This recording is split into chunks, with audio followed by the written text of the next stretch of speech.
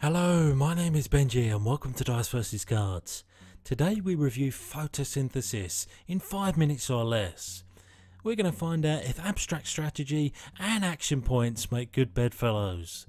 But most importantly, we consider whether there is anything more ironic than cardboard forests.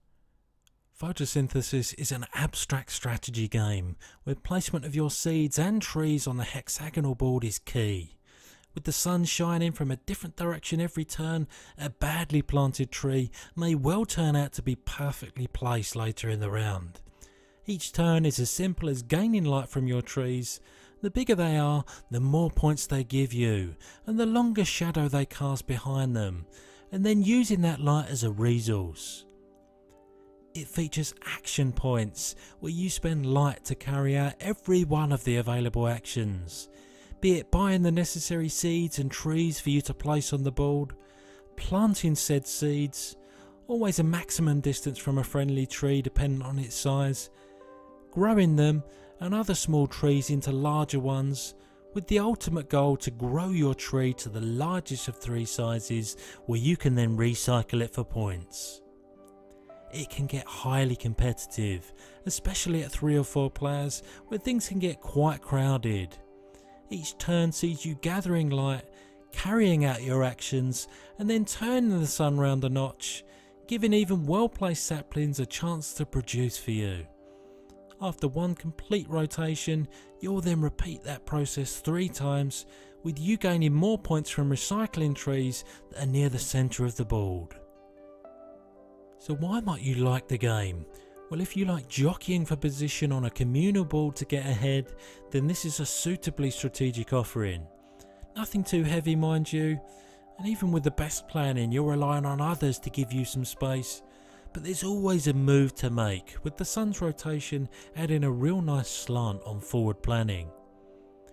It's an attractive game for sure, if you find yourself pining for prettier abstract games, then this certainly does leave an attractive footprint on the table.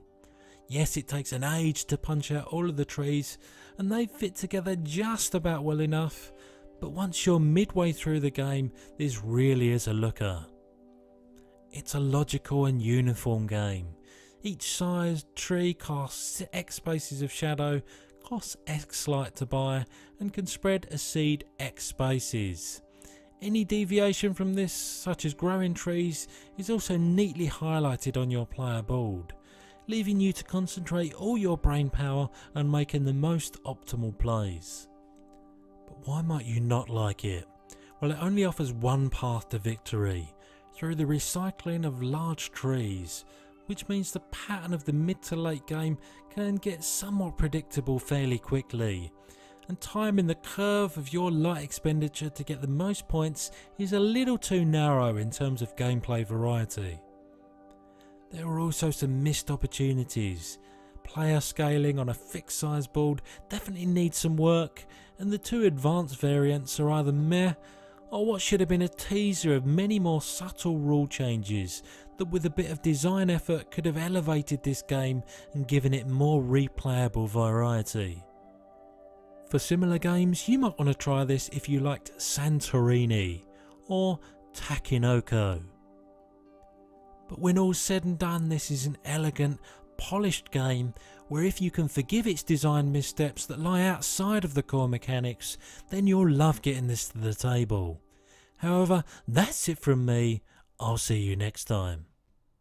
Is this all a big dream, Oki? No, Willow. I'm afraid not. We're not in Sherwood Forest anymore.